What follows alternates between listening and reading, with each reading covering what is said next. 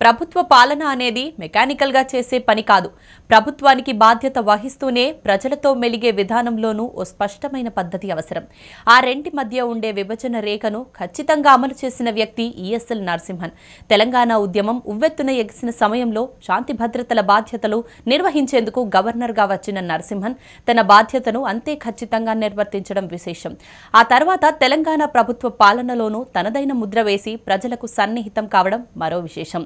ఒకే వ్యక్తి రెండు వేర్వేరు సందర్భాలకు ప్రత్యక్ష సాక్షి కావడంతో పాటు ఆ రెండు బాధ్యతలను సమర్థవంతంగా నిర్వర్తించడం చెప్పుకోదగ్గ విషయం.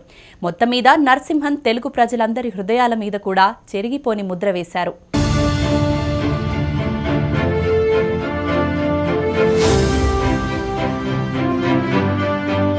తెలంగాణ ఉద్యమం ఉవ్వెత్తి ఎగిసి ఊరు వాడ ఏకమై తెలంగాణ కోసం పోరాటం చేస్తున్న సమయంలో నరసింహన్ ఉమ్మడి ఆంధ్రప్రదేశ్ గవర్నర్గా బాధ్యతలు స్వీకరించారు. ఛత్తీస్గఢ్ గవర్నర్గా పనిచేస్తున్న ఈయనకు తెలంగాణ ఉద్యమాన్ని అణిచివేసే బాధ్యతలను అప్పగిస్తూ జనవరి ఇరవై మూడు రెండు వేల పదిన ఆంధ్రప్రదేశ్కు గవర్నర్గా నాటి యూపీఏ ప్రభుత్వం నియమించింది. బాధ్యతలు తీసుకున్న తొలి రోజు నుంచి తెలంగాణ ఉద్యమంపై పూర్తి అవగాహనతో నరసింహన్ వ్యవహరించారు.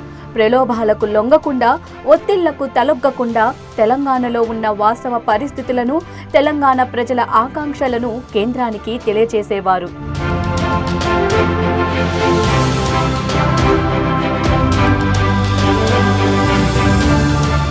తెలంగాణ ఉద్యమ సమయంలో జరిగిన సకల జనుల సమ్మె million march rail roko pen down లాంటి అనేక సంఘటనలకు ఈయన ప్రత్యక్ష సాక్షిగా వ్యవహరించారు. తెలంగాణ ప్రజల మదిలో బలంగా నాటుకున్న ప్రత్యేక తెలంగాణ ఆకాంక్షను కేంద్ర పెద్దల కళ్ళ ముందుంచారు. బంధులు రాస్తారోకలతో హోరెత్తిన తెలంగాణలో ఆస్తి ప్రాణ నష్టం సంభవించకుండా తగు జాగ్రత్తలు తీసుకునేవారు.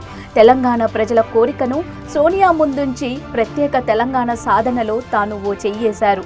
తెలంగాణ ప్రజల గుండెల్లో శాశ్వత స్థానం సంపాదించారు.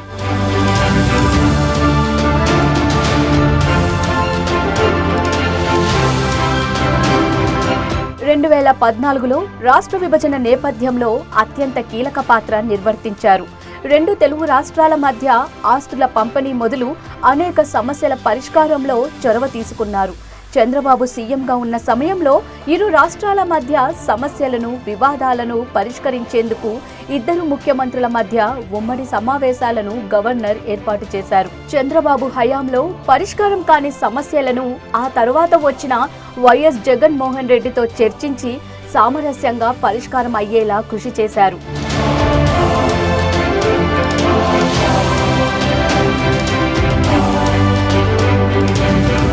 తెలంగాణ గవర్నర్గా నియమితులైన నాటి నుంచి ముఖ్యమంత్రి కేసీఆర్తో సన్నిహిత సంబంధాలను నిలిపారు. సీఎంకు మార్గనిర్దేశకం చేస్తూ తెలంగాణ అభివృద్ధికి పాటుపడ్డారు. క్లిష్ట సమయాల్లో సైతం కేసీఆర్ అండగా నిలుస్తూ పెద్దన్న పాత్ర పోషించారు. తెలంగాణ నీటి ప్రాజెక్టుల నిర్మాణం ప్రవేశపెట్టిన సంక్షేమ పథకాలు మిషన్ భగీరథ కాకతీయ రైతు బంధు ఇలా అన్ని పథకాలను కేసీఆర్ గవర్నర్తో కూలంకషంగా చర్చించి సలహాలు స్వీకరించేవారట. మరీ ముఖ్యంగా ఇద్దరికి ఆధ్యాత్మిక భావన ఎక్కువగా ఉండటం వల్ల పలు యాగాలు యజ్ఞాలు నిర్వహించడం యాద్రాది పునర్నిర్మాణంలో పాలు పంచుకోవడం లాంటి సంఘటనలతో గవర్నర్ కేసీఆర్ల మైత్రి బలపడింది. కేసీఆర్ చూపించే గౌరవ మర్యాదలు నరసింహన్ను ఎంతో ముగ్ధుల్ని చేసేవట. ఇలా తెలంగాణ అభివృద్ధిలో నరసింహన్ పాత్ర అమోఘం అనడంలో అతిశయోక్తి లేదు.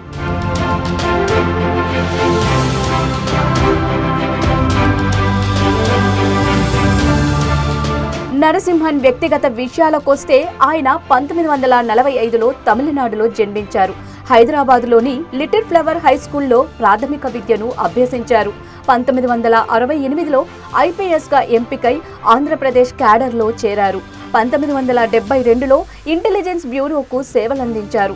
రెండు వేల ఆరులో పదవి విరమణ పొందిన ఆయన రెండు వేల ఏడులో ఛత్తీస్గఢ్ గవర్నర్గా నియమితులయ్యారు.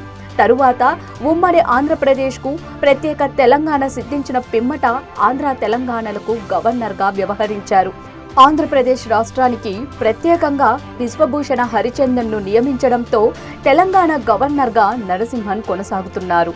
ఇలా ఎక్కువ కాలం పనిచేసిన గవర్నర్గా ఈసీఎల్ నరసింహన్ రికార్డులోకెక్కారు.